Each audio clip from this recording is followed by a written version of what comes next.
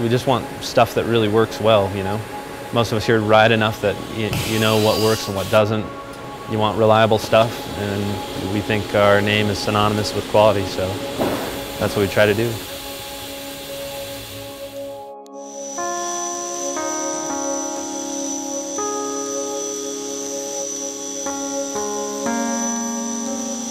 You know, the design starts, you know, with Hoog and Stretch really, and uh, they'll kind of start a model, 3D model. They include me in, you know, seeing how the manufacturability of the part. You know, I'll work with them on that, you know, whether we can, it's easy to make, hard to make, etc. And it goes from a design standpoint, they send it back to me. I'll make all the bits and pieces, all the CNC bits.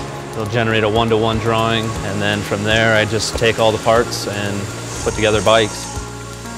Along the way I see what, you know, issues we might have with manufacturing, little issues that we need to work out before it actually goes to production.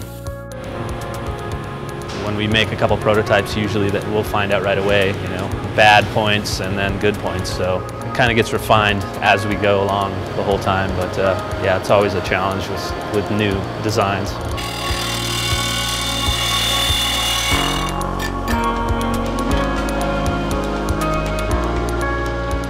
You know, we have dedicated testers like uh, Zigman and, you know, the racers who actually give really good feedback on how it rides. But yeah, everybody in in-house really gets to ride stuff and uh, know, get their input. The more input you get, we think the better the product you, you put out in the end.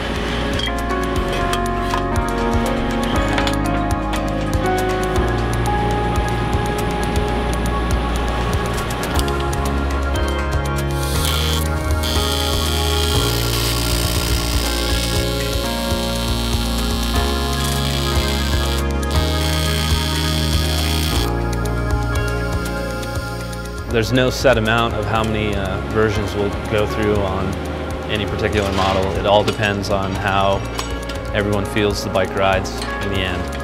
It could be half dozen, it could be a dozen. Um, generally we get the feel of the whole bike within a couple versions, but then we kind of you know, start fine-tuning it, make sure everything's right where we want it.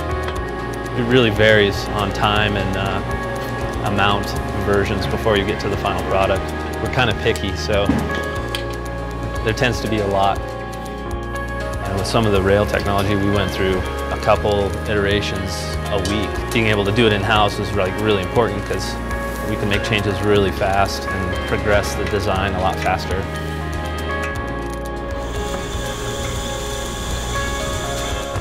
For me, it's really, yeah, about keeping my mind and my hands busy. You know, I really like actually holding physically something that I have made goes even further when you do a complete bike and then you get to ride it and see how it rides.